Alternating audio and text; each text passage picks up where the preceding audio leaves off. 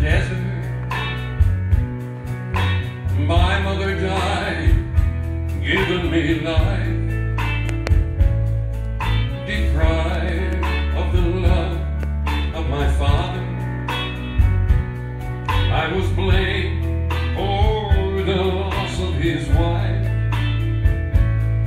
Now you know, Lord, I've been in a prison. It was something I've never done. And it's been one hill after another. But